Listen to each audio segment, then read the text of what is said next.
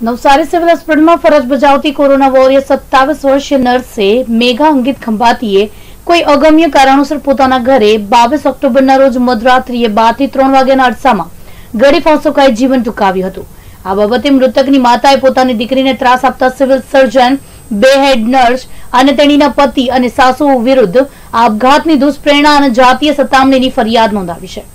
Navsari civil હોસ્પિટલમાં મેઘા અંગિત ખંભાતી તે હોસ્પિટલમાં ફરજ બજાવતી. તેણીને શારીરિક તકલીફ હોય તે બાબતે તબીબને બતાવવા માટે રજા માંગી હતી. પણ ઉપરથી નર્સ દ્વારા રજા અને જાતીય સતામણી કર્યા હોય, તારીખ બાવીસમી ઓક્ટોબરના રાત્રિના બાર વાગ્યાથી ત્રણ વાગ્યાના સમયગાળા દરમિયાન પોતાના બેડરૂમમાં ઓઢણી વડે ગળે ફાંસો ખાઈ લીધો હતો.